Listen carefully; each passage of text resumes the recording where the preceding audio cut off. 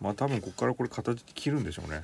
上手に切れるかわかんないんですけどちょっとやってみます。はい。どうやって削ろうかな。またねダイソーですごいもん見つけてしまったんですよこれ。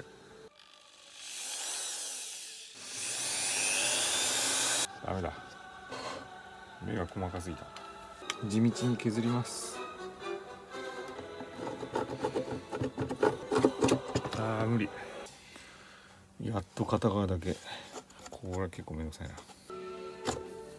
なんとかここまで削り切りました。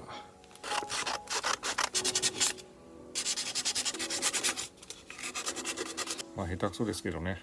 滑らかになったんでとりあえず上の方はこれでいいことにします。で問題のこっちはねまた次回にやろうと思います。で最後の難関。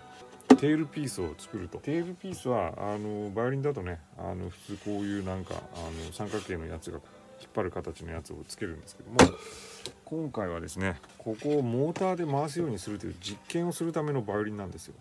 なんでこういう風にこうギアペグをねあのつける形にしなきゃいけない、まあ、ウクレレ用のギアペグをつけてるんですけど普通のそのここにエンドピンを刺して、えーこうテールピースをあの引っ張ってこうやるっていうのはうまくくっつける方法が思いつかなかったんですよ。ちょっとね信じられないようなものかもしれないんですけどこれ蝶つがいをね。使おうかなと思いましてじゃあ早速やっていこうかなと。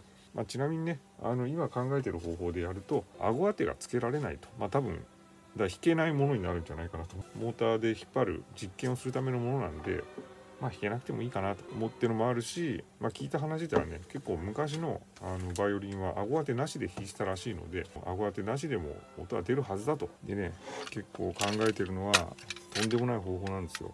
ガチの職人さんにはね絶対見せられない。あの今まで温かい目で見ててくれた人もねこれを見るともう「あ何この人。